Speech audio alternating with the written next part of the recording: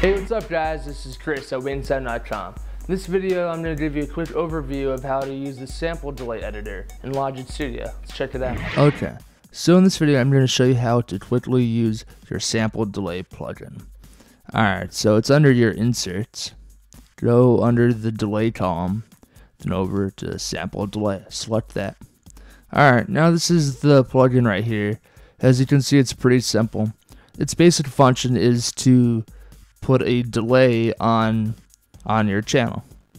And as you can see, you have the option to put delay on both the left and right outputs separately. And the further to the right you go, the more delay it is. Alright, I'm just going to play this track really quick.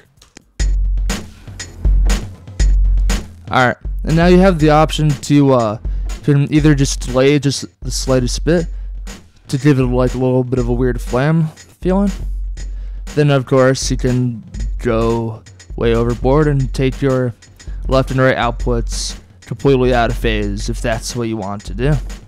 Then say if you still want to use the delay, but you want both the left and right output to match up, simply select the left right link and now they are linked together. Check out WinkSound on the iTunes Store to subscribe to the podcast, listen to some music, and download the free iPhone app that will keep you up to date with all of the latest releases from WinkSound Studios.